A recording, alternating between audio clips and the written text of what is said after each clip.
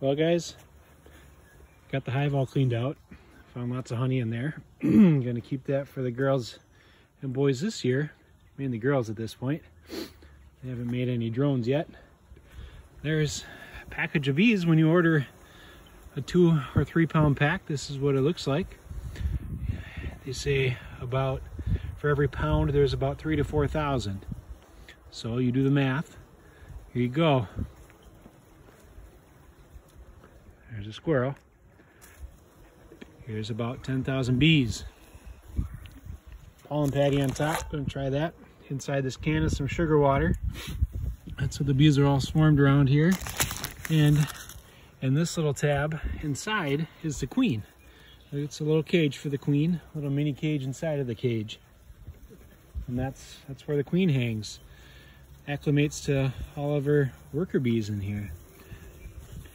So Got the hive ready. Got my smoker going. Gonna get some smoke going so I can smoke the bees a little bit, calm them down. They've been sprayed with sugar water.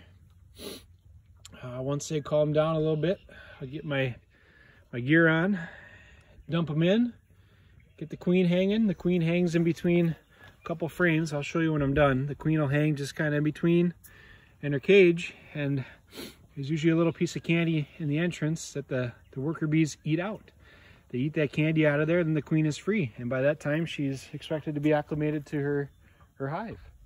And there you have it. it's front of the hive. I have my hive reducer in. I was gonna put some sugar water in here, but now that I think of it, I got lots and lots of honey in there right now and the pollen patty. So I'm actually gonna switch this out to just that little guy instead of that big one. It's just an entrance reducer that we can use to keep rodents out and keep the heat in for a little bit as the nights are still chilly. The bees will huddle up inside their hive and try and stay warm.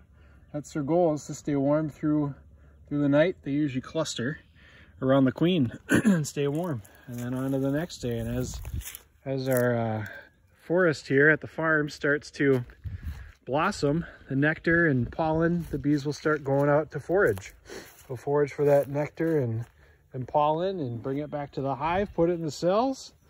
Nectar goes in there and loses some humidity, loses some moisture. Then it gets sealed up and then you got sweet honey. Uh, gonna get my stuff on and get ready to do this.